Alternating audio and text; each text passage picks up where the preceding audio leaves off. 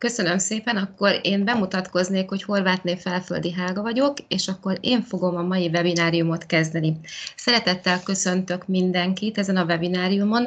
A témája a szakképzési tananyagtár. A kifis kollégáimmal úgy egyeztünk meg, hogy én leszek az, aki szakmailag bemutatom konkrétan, hogy mi ennek az egész tananyagtárnak a célja, mi a funkciója, mi konkrétan a mapparendszernek a felépítése, és az alkalmazását, a használatát pedig a kifis kollégák fogják önöknek bemutatni. A kifis kollégákkal együtt mi részt vettünk abba a szűk kis csoportba, akik ezt a szakképzési tananyagtárat létrehozták. Most elsődlegesen, hogy hogyan is jött létre a gondolat, hogy mi gyorsan létrehozzuk ezt a szakképzési tananyagtárat, az konkrétan a koronavírusnak köszönhetően létrejött az 1102-es kormányhatározat, amely 2020. március 16-ától a digitális munkarendben való oktatást rendelte el. Valamikor én is tanár voltam 18 éven keresztül, és mindenki számára ez tudható volt, hogy olyan hirtelen lépünk be ebbe az újfajta digitális oktatásba, digitális munkarendbe, hogy hihetetlen nagy teher hárul mind a tanárokra, mind pedig a diákokra is. És ebből kifolyólag gondoltam, az Innovációs és Technológiai Minisztérium, itt mutatom egyébként a képem, a Nemzeti Szakképzési és Felnőttképzési Hivatal, a KIFÜ, az IKK és a Digitális Jólét Nonprofit Kft. a Digitális Jólét programon belül, hogy együttműködve létre fogják hozni ezt a szakképzési tananyagtárat. Ennek a tananyagtárnak a felhasználói konkrétan azok a pedagógusok, akik a szakképzésben oktatnak, és rendelkeznek OM azonosítóval, tehát valójában egyébként minden szakképzésben tanító tanár, aki nek, azoknak az intézményeknek, ahol kréta rendszerrel dolgoznak, mert hogy konkrétan ez az alkalmazás, ez a fejlesztés, ez a kréta rendszeren keresztül biztosít a tanároknak belépést, mint ahogyan itt látható a képen is. Na most valójában én, mivel hogy jelen pillanatban már nem vagyok pedagógus, ezért én majd a közvetlen belépéssel fog belépni akkor, amikor megmutatom a mappa rendszer struktúráját, viszont annyit szeretnék még előtte mindenképpen elmondani, hogy ennek a, a mapparendszernek, ennek a szakképzés tananyagtár mapparendszerének az volt a célja, hogy a szakképzésben nem csak a szakmai tárgyakat tanító tanárok, hanem a közismereti tanárok is lehetőséget kapjanak ahhoz, hogy egyrészt segítséget kapjanak azáltal, hogy az egyes kollégák által feltöltött anyagokat, illetve amit mi eddig az eddigi fejlesztésekből sikeresen összegyűjtöttünk és felhasználható tananyagokat feltöltöttünk ide a rendszerbe. Az egész célja az, hogy aktívan alkalmazzák a pedagógusok, és mindenki, aki csak úgy gondolja, hogy szívesen megosztaná a tananyagtartalmakat, amiket elkészítettek, azokat mind-mind töltse ide fel, ezzel segítse a kollégáknak a munkáját. Na most jelen pillanatban 10.156 tanár volt, aki belépett eddig a rendszerbe. Úgy gondolom, hogy március végén, inkább április elején élesedett a rendszerünk, tehát ebből kifolyólag szerintem szép számmal beléptek a tanárok. Amikor majd, nem tudom, hogy önök egyébként beléptek-e már a szakképzési tananyagtárba, de minden egyes mappánál látható a feltöltött tartalom, illetve az is látható, hogy mikor dolgoztak, mikor töltöttek fel utoljára. Na most mi ennek az egésznek a lényege?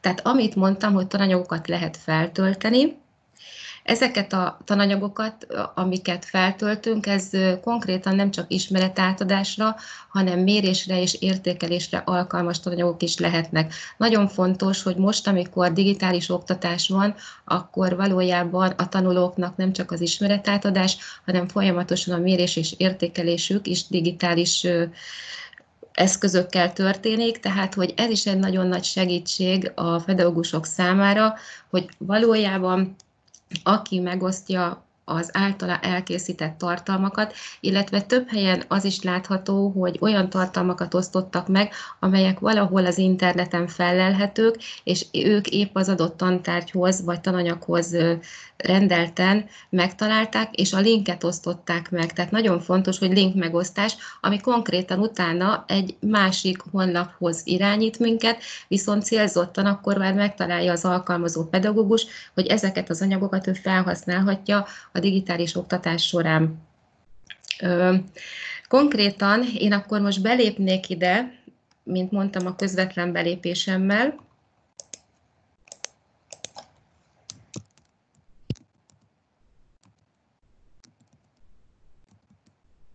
Amikor önök belépnek, akkor az oktatási azonosító segítségével tudnak belépni.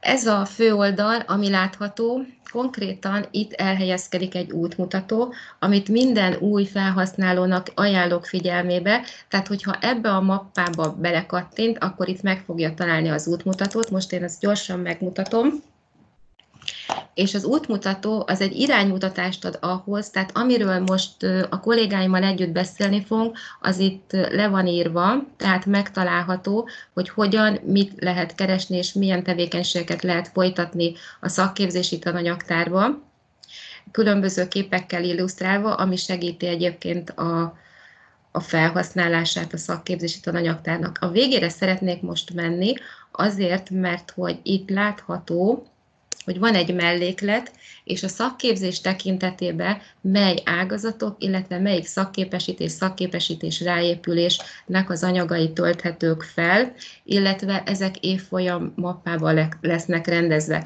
Tehát akkor, amikor önök keresni szeretnének valamit, akkor érdemes ezt áttekinteni, hogy melyek azok a szakképesítések, illetve ágazatok, amelyek szerepelnek ebbe a mappa struktúrába. Akkor, amikor elkészítettük ezt a rendszert, akkor figyelembe vettük azt, hogy az idő rövidségére való tekintettel, hogy nem tudjuk az összes szakképesítést, illetve a, az összes szakképesítés ráépülést, illetve részszakképesítést itt feltüntetni, hanem azt vettük figyelembe, hogy azok kerülnek, azoknak lesz mapparendszere, amelyekben legalább 50 tanuló tanul, tehát amely képzésekben legalább 50 tanuló részt vesz. Mielőtt a mapperendszert néznénk konkrétan meg, előtte szeretném mutatni, hogy van egy másik mappa is, amely a szabályzatokat tartalmazza. Itt a moderálás, moderálási alapelvek és a felhasználási feltételek szerepelnek a tananyagtárhoz, úgyhogy kérem szépen, hogy ezeket is nézzék meg és olvassák át, és akkor utána használják majd ezt a tananyagtárat. Na most a tananyagok mappába itt látható a mapparendszer terveink szerint egyébként kettő mappa készült volna, kettő darab almappa, az egyik a szakképzési tananyagok részére, a másik pedig a közismereti tananyagok részére. Itt látható egyébként, hogy egy egyéb tananyag is felhelyezésre került két napja, ezzel egyébként én is most találkozok így először, és látható, hogy néhányan nem a megfelelő helyre töltöttek fel bizonyos mappákat, de ezt majd szerintem mindenképpen a megfelelő mappákba be fogjuk helyezni. Tehát először akkor nézzük a közismereti tananyagokat, hogy ezek hogyan helyezkednek el. Az almappák azok úgy vannak kialakítva, hogy iskolatípusra vonatkozóan, tehát van a szakközépiskola, ezek a három éves képzések, illetve van a szakgimnázium, ez pedig az öt éves képzésekre vonatkozóan. A szakközépiskolait mutatnám először. A szakközépiskolát, ha kibontom, akkor itt is vannak egyébként eltévedt anyagok, és majd el is mondom egyébként, hogy miért, mert hogy alapvetően azokra a tantárgyakra fókuszáltunk, amely az 51 per 2012-es emmirendben meghatározottak szerint kötelező tantárgyak, és arra fókuszáltunk, hogy ezeknek legyen mindenképpen meg a mapparendszere, és mivel, hogy alapvetően a matematika tantárgy az, ami a legközkedveltebb, tehát feltöltés, letöltés szempontjából itt van a legtöbb anyag, itt látható az, hogy a három évfolyamban van rendezve, és akkor megmutatom közben, hogy itt ezeknél pedig így lehet megtalálni ezeket a mappákat, és lehet keresgélni. Egyébként itt pedig csevegési funkció segítségével hozzá is lehet szólni az egyes anyagokhoz. Itt látom, hogy ismételtem valaki egy saját mappát hozott létre. Na most alapvetően ami legfontosabb, hogy meg kell tartani a mapparendszert, mert így tudunk benne teljes mértékben eligazodni. Tehát alapvetően a szakközépiskolai mappának ott teljesen egyértelmű a mapparendszere, mert a szakközépiskolánál meg van határozva, hogy melyek azok a fő tantárgyak, amelyeket oktatni kell, és hát a szabad óra keretterhére tervezett tantárgyak nem szerepelnek itt konkrétan, viszont azt mindenképpen szeretném jelezni, hogyha szeretnének olyan tantárgyakhoz felhelyezni tananyagot, amely mappa nem szerepel, akkor majd a kifis kollégák biztos el fogják mondani, hogy itt mód lehetőség van rá, tehát mindenképpen jelezni kell, és ők létrehozzák azt az almapát, amelybe ezek belehelyezhetők. Most egy pillanatra visszamegyek egyébként ide a szakközépiskolaihoz, és látható az, hogy ez itt az osztályépítő, tehát az osztályfőnöki órához tartozó tananyagtartalom került ide fel, felhelyezésre, mert én ezt egyébként itt már meg is néztem, tehát osztályközösségépítő, ami azt mondom, hogy nagyon-nagyon jó, tehát hogy ilyeneket felhelyeznek, csak mindenképpen ide majd akkor szükséges lesz egy olyan mappát létrehozni, hogy ez az osztályközösségépítő mappa. Visszatérve, hogyha sikerül, csak a gépen nem túl gyors, akkor most rámegyünk a szakgimnáziumi mappára. A szakgimnázium mappához azért több hozzáfűzni valóm van olyan szempontból, hogy tudjuk jól, hogy a szakgimnáziumban az ágazatok tekintetében különböző óraterv táblázatok vannak, attól függően, hogy melyik ágazatról beszélünk, valahol nagyobb hangsúlyt kap a biológia, valahol a kémia, valahol a fizika, és alapvetően itt a mapparendszerünk kialakításánál arra törekedtünk, hogy minden egyes ágazat tekintetében, ami kötelező közismereti tantárgy, az szerepeljen. Tehát most itt ezek vannak megjelenítve. És itt is szeretném jelezni, hogy ha esetleg valaki szeretne feltölteni mappát úgy, hogy nem szerepel, mert hogy konkrétan egy adott ágazatra vonatkozik csak, és vagy mondjuk rá három ágazatra, mert alapvetően így vannak az óratervek meghatározva, akkor ö, megteheti, csak előtte mindenképpen jelezze, és akkor létrehozzuk ö, ezt a mappát is. A közismereti tananyagok esetében tudjuk jól, hogy van a, a négy éves érettségére felkészítő képzés szakgimnáziumban, és akkor így, hogyha most megnyitok egy matematikát, akkor látható, hogy 9-től 12. évfolyamig szerepelnek a mappák, és itt kellene elhelyezni azokat a, az anyagokat, amik feltöltésre kerülnek. Itt is látható, hogy véletlenül valaki nem a megfelelő helyre helyezte be ezt a mappát, vagy hát ezt az anyagot. Na most egy ágazati képzésnél tudjuk jól, hogy van akkor a, a négy éves érettségre felkészítő képzés, mert az ötödik év az már konkrétan a szakképző évfolyam, és ott közismereti oktatás konkrétan nincsen maximum idegennyelv, és ezen kívül még van a két éves érettségire felkészítő képzés. Na most az útmutatóban meg fogják találni, hogy akkor, amikor valaki két éves érettségére felkészítő képzésbe vesz részt, akkor ott a tananyag tartalom az helyjel közel megegyezik a 11 meg a 12. évfolyamnak az anyagával. Itt mindenképpen a négy éves és a két éves közismereti óratervet kell összevetni, hogy melyik tantárgy, illetve a kerettanterveket, hogy hol található az a tananyagtartalom, vagy tananyagelem, vagy témakör, és ez alapján lehet beazonosítani, mert különben nagyon-nagyon szétstruktúrált lett volna a mapparendszerünk, illetve valójában a, a tananyag tartalom az teljesen azonos a két éves képzésnél, illetve a négy éves képzés esetében.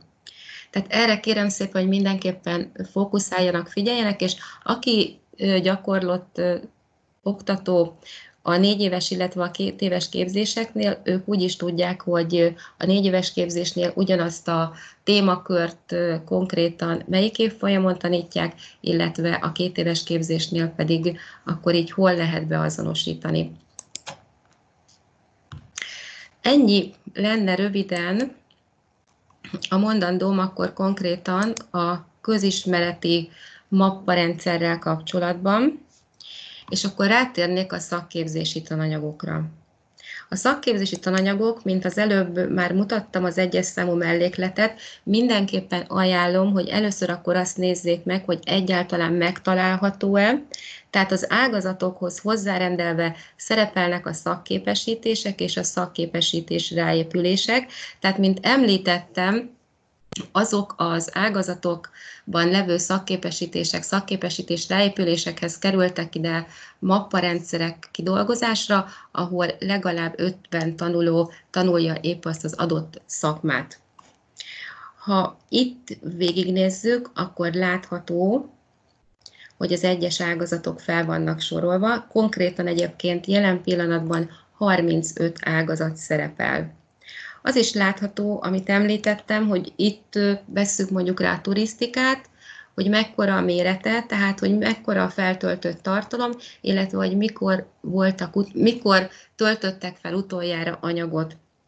Érdekes egyébként, hogy azt veszem észre, hogy a közismereti tananyagtartalom az sokkal inkább felhasználásra kerül, tehát hogy sokkal, de sokkal gyakrabban látogatják, illetve töltenek is fel anyagot, míg a szakképzési résznél nem mondom azt, hogy nem, mert azért itt is látható, hogy például a közgazdaságnál 9 napja volt utoljára feltöltés, tehát itt ez konkrétan a feltöltéseket jelenti. A letöltésekről arról nem rendelkezik konkrétan információval számunkra ez a rendszer. A, az egyik mappát megnyitom, mondjuk rá egy pillanat, mindjárt keresek egy olyat, ahol a pedagógiát, mert volt egy kérdés, hogy pedagógia, pedagógia tantárgyból mikor fognak felkerülni anyagok Na most nem volt teljesen egyértelmű számomra a kérdés, olyan szempontból nem tudtam sajnos beazonosítani, hogy a pedagógiai ágazat az szerepel itt valójában, és a pedagógiai ágazathoz kapcsolódóan van három darab szakképesítés, és hát itt tényleg van a pedagógia, tehát hogy itt ez lett volna a kérdés, hogy ide mikor fog felkerülni. Hát az a célunk, hogy minél többen használják ezt a szakképzési tananyagtárat, és nagyon bízom benne, hogy, hogy lehet, hogy most igazából az okozza azt, hogy annyira nem aktívan töltenek fel a pedagógusok, hogy tényleg lefoglal mindenkit ez a digitális munkarend, és olyan-olyan sokat kell készülni, meg annyi interakció van, tehát itt digitális eszközökön keresztül a tanulókkal, hogy egyszerűen kitölti a tanároknak az egész napját, viszont a jövő tekintetében mindenképpen szeretnénk, hogyha aktívabb használatba kerülne a szakképzési tananyagtár. Tehát valójában a pedagógia ágazatnál egyetlen egy helyre került feltöltésre anyag, méghozzá gyógypedagógia segítő munkatárshoz a 13. év folyamra helyeztek föl, úgyhogy én, én csak ennyit tudok mondani ezzel kapcsolatban, hogy mindenképpen szeretnénk motiválni, és keressük azt a megfelelő motivációs eszközt, amivel tényleg a pedagógusok, leendő oktatók használni fogják ezt a tananyagtárat. Én nagyon-nagyon bízom benne, hogy mindenki ezt pozitívan éli meg, mert úgy gondolom, hogy a kölcsönös segítségnyújtás az nagyon sokat számít, illetve annyi, hogy, mint jeleztem, itt van ilyen csövegési funkció lehetőség, erről majd a kollégám fog bővebben beszélni, ahol konkrétan, tehát a feltöltött tananyag tartalomról tudunk véleményt alkotni és láttam egyébként, hogy nem egy olyan megjegyzés volt, hogy nagyon jó ez az anyag, köszönjük szépen, tehát hogy fontos az, hogy, hogy tényleg más is használhassa, illetve akkor így a többiek is fel fognak tölteni majd anyagokat, tehát ez a, ez a kölcsönös segítségnyújtás a jövendőbeli oktatói társadalom számára. Azt Mindenki tudja, hogy szeptembertől megváltozik a szakképzési rendszer, tehát jelentős átalakuláson fog keresztül menni, és ezért mindenképpen ez a szakképzési tananyagtár bővülni fog. Olyan szempontból, hogy a mappa struktúrát azt valamilyen úton, módon át kell majd egy kicsit alakítanunk, hisz valójában, amit itt látunk, ezek a mostani jogszabályi környezetnek megfelelően kifutó rendszerben fognak majd megszűnni, viszont akik 9 belépnek 2020. szeptember 1-én, azok a tanulók, azok már az új szakképzési törvény szerint szakmai oktatásban fognak részt venni. 174 szakmáról beszélhetünk, illetve a részszakmák száma az még egyelőre nem teljesen pontos, de jó sok részszakma van, illetve ami még fontos, hogy szakma irányok is lesznek, és ennek megfelelően fogjuk kialakítani az új struktúrát, hogy ez új ágazat, 24 ágazat, akkor a szakmák, szakmairányok, illetve a részszakmák keresése lesz majd lehetőség, és természetesen ahogyan felmenő rendszerbe fogják ezeket tanulni, így valószínűleg először csak a 9. évfolyamos mappa, és akkor utána pedig így tovább fog a mappa rendszer kialakulni.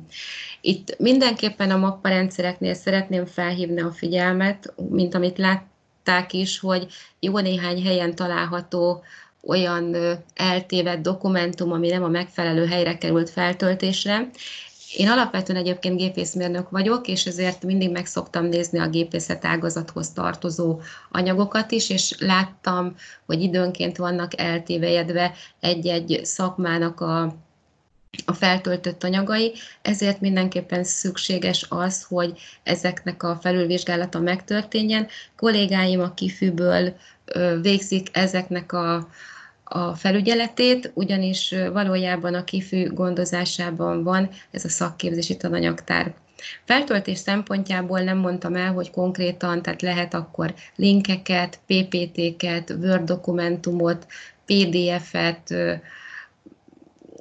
nagyon sokféle formátumanyagot fel lehet tölteni, és itt a kiterjesztés szempontjából sincsen probléma, mert akkor, amikor eljutunk odáig, hogy esetleg a, a tananyagtárnak a, a tartalmat megtöltődne, és úgy érz, tehát már befejeződik, és nincsen hozzá több tárterület, szabad tárhely, akkor mindenképpen a kollégák rendelkezésre fognak bocsátani nagyobb tárhelyet is. Úgyhogy kérem szépen a kollégákkal beszéljék meg, és, és nézzék át, használják, és kívánom, hogy legyen sikeres önök számára a szakképzési tananyagtárnak a használata, hogy megkönnyíti ez az önök munkáját is. A kérdések tekintetében volt még kettő nagyon-nagyon érdekes kérdés, ami érkezett itt a webináriumnak a kezdéséig, és az egyik az volt, hogy kollégiumok számára, hogy bővítjük-e ezt a szakképzési tananyagtárat. És igen, én úgy gondolom, hogy most, amiről beszéltem, hogy úgy is fog a rendszer bővülni, tehát az új képzési struktúra alapján, ezért mindenképpen jelezni fogom a fejlesztőknek, hogy érdemes lenne gondolkodni egy kollégiumi mappában is, ahol konkrétan tényleg olyan óraterveket, ötleteket tudnak feltölteni a kollégiumok számára, ami a hasznos időtöltés szempontjából, tehát segítségnyújtás, ötletadás a többi kollégiumnak a számára. Érkezett még egy olyan kérdés, hogy e-learning felület, hogy ez lesz-e. Hát ennél a szakképzési tananyagtárnál, ennél a struktúránál, illetve az itt feltölthető anyagok tekintetében biztos, hogy ez nem kerül bővítésre, tehát itt e-learninges felület nem lesz, ami ahova feltölthetőek lennének e-learning tananyagok, viszont gondolkodunk rajta, és tervezzük ennek is a fejlesztését a jövőben, tehát bízom benne, hogy sikerülni fog, mert alapvetően a digitalizációi a jövő. Köszönöm szépen, én azt hiszem, hogy ennyit szerettem volna így elmondani, hogyha esetleg kérdésük merül fel, akkor olvasom majd a chatbe. Most átadom a kollégámnak a szót László Attilának, és akkor utána közben olvasom akkor a, a kérdéseket. Köszönöm szépen! Jó estét kívánok! Hallható vagyok? Igen. Nagyszerű. Akkor mindjárt meg is osztom a képernyőmet. Látható a képernyőm? Most igen. Nagyszerű. Uh, én uh, a kifűt képviselem, László Attila vagyok, és uh, pár technikai dolgot szeretnék bemutatni, főleg olyan dolgokat, ami mondjuk fönn lehet akadni, vagy az esetben problémát okozhat. Azt az elején már szeretném elmondani, hogy a, a kifű alapvetően a tananyagtárat biztosítja, viszont annak tartalmát nem tartja karban. Tehát a, a tananyagtárba feltöltött anyagok, illetve azoknak szerkezetéért valamilyen szinten a közösségnek kell felelősséget vállalnia, hiszen mindannyian teszünk bele nagyon sokat, viszont ebből ki is, le, ki is szeretnénk venni nagyon sokat, és a, a struktúra megtartás az mindenképpen nagyon fontos, hogy ezt a Helga elmondta. Úgyhogy mielőtt feltöltenénk a közös tananyagtárba, azt mindenképpen nézzük meg, hogy azt, amit szeretnénk feltölteni, azt valóban oda kell-e, kell-e feltölteni. Az első és legfontosabb, amivel mindenki fog találkozni, ez ugye belépési ablak. Itt három lehetőség van, viszont három lehetőségből kettő az technikai. Az első a közvetlen belépés, ami alapvetően a Helgáéknak van, hiszen ők nem részei sem a Krétának, sem az EduID-nak. Az EduID alapvetően pedig a, a kutató és oktatói hálózatot tartalmazza, ami túlnyomó részben a felsőoktatásból áll és a kutatóhálózatból bár a közoktatás is lehet része az EduID-nak, viszont ez jelenleg csak a kifűre van korlátozva, hiszen a kifű üzemelteti ezt a föderációt is. A Krita az, amit tulajdonképpen mindenki használhat nyugodtan, viszont belépni csak is kizárólag azok tudnak majd, akik a Kréta rendszerből tanár attribútumot kapnak. Előfordulhatnak még hibák, ezt mindenképpen a Kréta felé, vagy a, a az iskola felé nem tudom igazából, hogy ez hogy működik, jelezni kell, hogyha valaki tanár, de nem tud belépni, és azt a hibaüzenetet kapja, hogy nincs hozzá jogosultsága, akkor azt mindenképpen jelezzék a Kréta felé, hiszen ez egy, ez egy adminisztrációs hiba akkor. Itt a chatben láttam korábban egy kérdést ezzel kapcsolatban. Jelenleg csak is kizárólag a tanároknak tartjuk fent ezt a tananyagtárat. Tehát diákok és egyéb adminisztratív alkalmazottak nem tudnak belépni, csak akkor, ha rendelkeznek a tanár attribútummal. Én most belépek az EduID-ma, ezt már meg is tettem. Azt fontos tudni, hogy van három megosztott mappa. Ez a szabályzatok, a tananyagok és az útmutató. Ez az, amit mindenki lát, és első belépéskor biztosan látni fog. Illetve az ebben megosztott fájlokat és a mappa struktúrát. Az a mappa, ami megvan osztva a többiekkel, az egy egyértelmű ikonnal van elválasztva, ugyanis ez egy ilyen ez jelzi azt, hogy tulajdonképpen ez egy megosztott mappa. Az, aminek nincs ilyen ikonja, az azt jelenti, hogy ez egy privát mappa, tehát ez csak is kizárólag a felhasználó látja, aki az a fájl, tehát például a, a tesztkönyvtárat azt a többiek biztos nem látják. Volt egy olyan kérdés, ugye, hogy hogy lehet például fájlokat föltölteni. Nagyon egyszerű igazából ezzel a plusz gombra kattintva az ember megnyomja a fájl feltöltés gombot, és akkor a fájlrendszerből kiválasztjuk azt a fájlt, vagy fájlokat, amiket szeretnénk feltölteni. Ugyanitt lehet új mappát is létrehozni, illetve lehet közvetlen linket is létrehozni. Ez nem csinál mást, mint hogy létrehoz tulajdonképpen egy, egy ilyen egy linket. Ezt mindjárt meg is mutatom, mert ez nem egy nagy dolog és erre kattintva igazából rögtön át is dob minket arra az oldalra, amit megadtunk linkként. Ez akkor lehet jó, hogyha valami külső tartalmat szeretnénk megosztani a többiekkel. Az még fontos például, hogy a, a, a törölt fájlokat, tehát hogyha én például kitörlöm mondjuk most ezt a fájlt, az elsődlegesen átkerül ide a törölt fájlok mappába. És a, abban a pillanatban, ahogy innen a törölt fájlok mappából én kilölök mindent, és azt mondom neki, hogy végleges törlés, onnan visszaállítani már nem lehet. Akkor sem, hogyha valaki kifejezetten az ügyfélszolgálatra ír, hogy már pedig ő véglegesen törölt egy fájlt, és állítsuk vissza. Onnantól kezdve már nem tudjuk visszaállítani, csak is kizárólag a felhasználó tudja visszaállítani a saját törölt fájlok mappából. Aztán igen, azt nem mondtam el, hogy ez az egész tananyagtár, ez a, Nextcloud szoftver, ami ami egy, tekintetjük úgy, hogy egy dobozos szoftver, és ennek van uh, szemtőgépre telepíthető kliense, illetve mobiltelefonra is telepíthető kliense. És uh, ezt a Nextcloud-nak az oldaláról lehet letölteni. Uh, bejelentkezni minden egyes alkalommal ugyanúgy kell, ahogy a weboldalon jelentkeznénk be. Ha ez mégsem lehetséges, akkor azt a beállításokban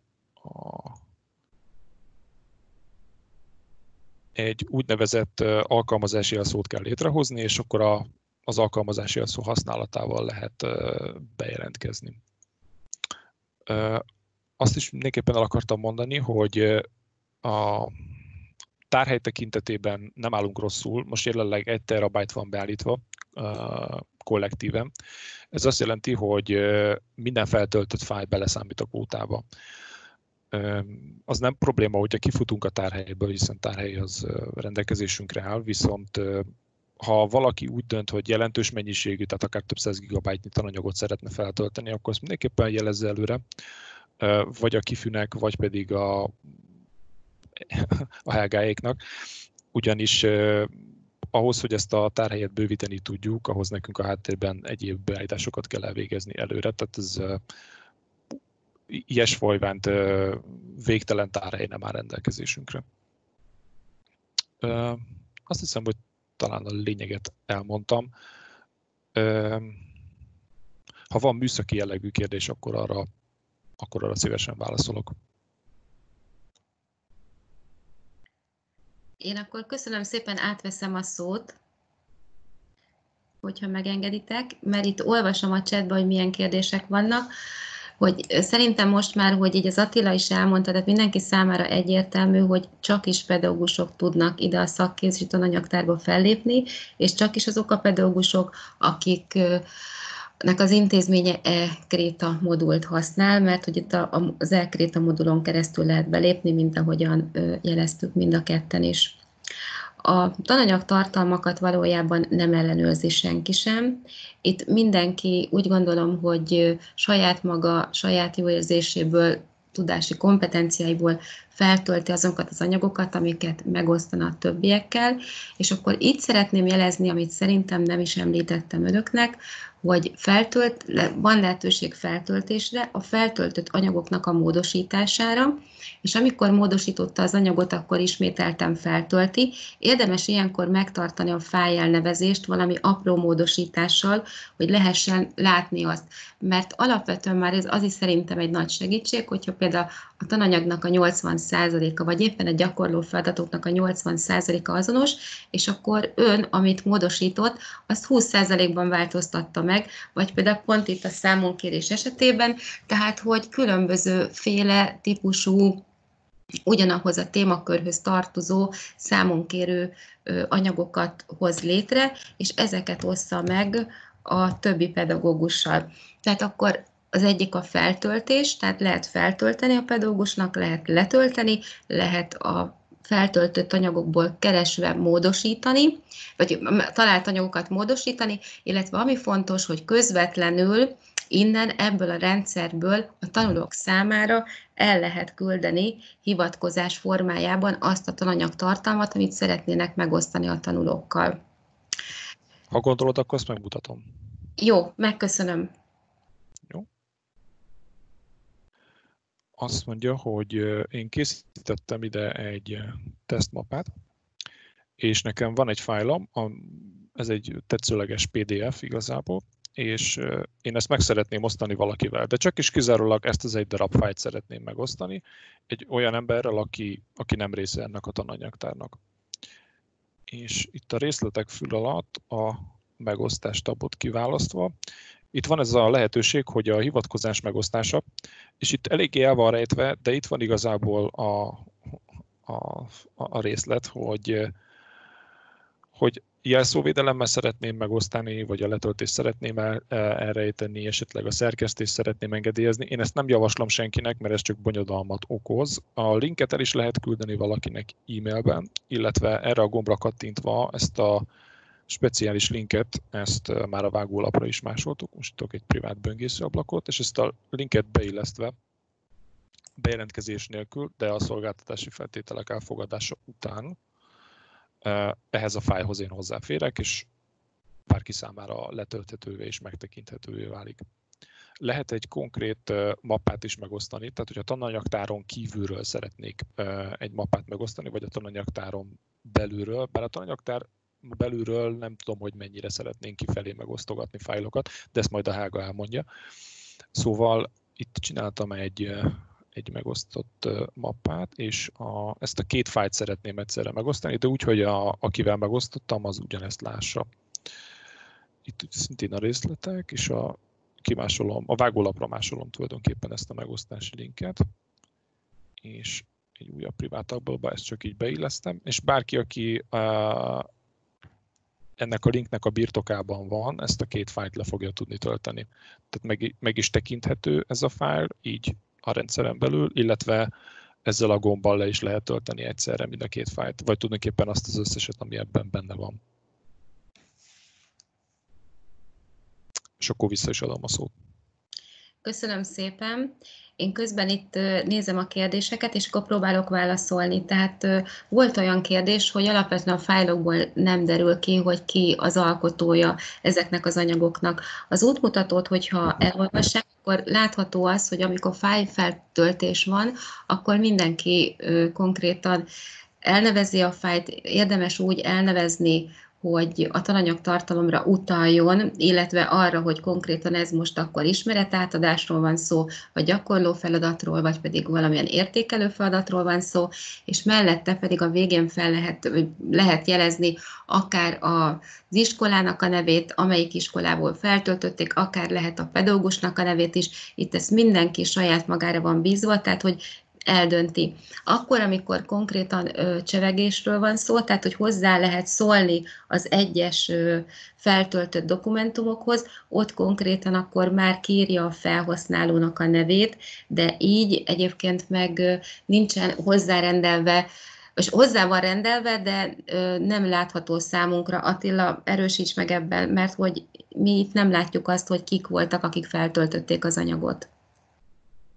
Ö, igen, tehát ez az úgynevezett elszámoltatás, vagy nem tudom, ez ilyen nekünk nem áll rendelkezésünkre. Tehát nem, ha valaki felülír egy fájt, vagy töröl egy fájt, akkor mi ezt nem fogjuk tudni megmondani, hogy már pedig az XY törölte, vagy szerkesztette ezt a fájt.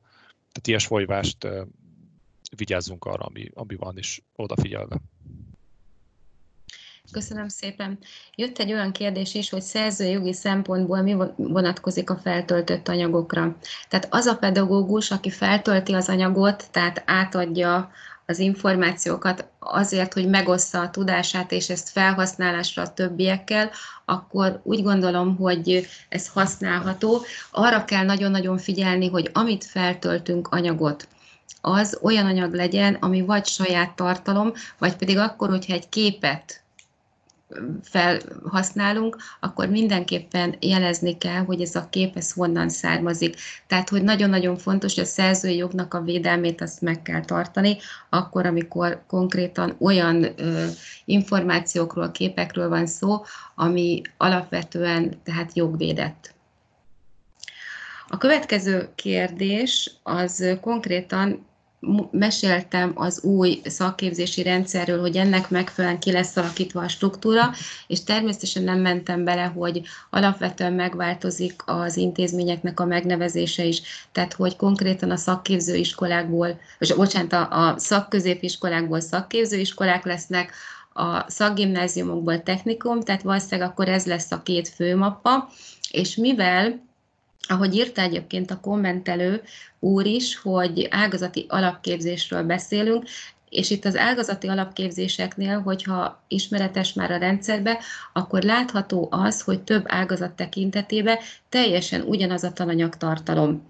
Tehát, hogy az ágazati alapképzésnél van olyan, hogy hat ágazathoz ugyanaz a tananyagtartalom tartozik, tehát a mapparendszer úgy lesz kialakítva, hogy értelemszerűen akkor ezt a rendszert az új képzési rendszert követve, hogy minden a lehető legegyszerűbben, legkönnyebben megtalálható legyen. Tehát abszolút figyeljük majd azt, hogy a jövőben milyen struktúrában történik az oktatás a szakképzésben.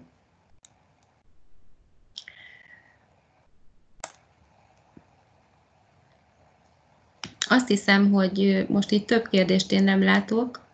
Nem tudom, hogy esetleg van-e még valakinek kérdése.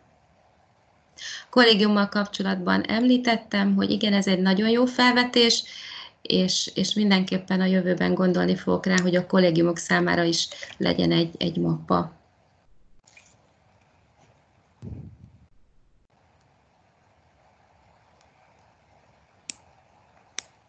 Igen, látom egyébként, köszönöm szépen, hogy a kollégium nem csak a szabadidő eltöltéséről szól, mi foglalkozásokat is tartunk 12 témakörbe. Valójában egyébként mélyen nem ismerem a kollégiumi ö, óraterveket, azt ö, nagyjából tudom, hogy ott is ö, milyen fajta foglalkozások vannak, és természetesen figyelembe fogom venni hogy van egyébként egy jogszabály, ami pont a kollégiumi nevelésről szól, és természetesen akkor ennek megfelelően fogjuk kialakítani a mappa struktúrát, és nagyon szépen köszönjük egyébként ezt a jelzést, és nagyon örülök neki, hogyha ha tényleg egy ilyen igény jelentkezik, mert, mert fontos az, hogy, hogy minél kitekintőbbek legyünk.